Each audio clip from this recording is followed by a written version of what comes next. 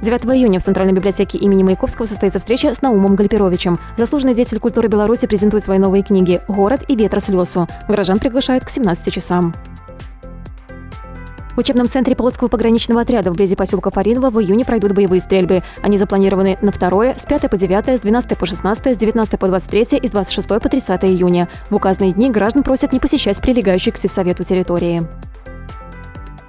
В Полском госуниверситете открылась выставка работ студентов двух творческих кафедр, посвященная 55-летию новейшей истории вуза. В экспозиции представлены практические курсовые дипломные работы, которые отражают весь спектр профессий архитектора и дизайнера. Новополские ну, спасатели побывали в гостях у многодетных семей города. В игровой форме они напомнили детям и их родителям правила безопасного поведения дома и на улице и как нужно вести себя в случае пожара. Встреча прошла в рамках акции «Не оставляйте детей одних».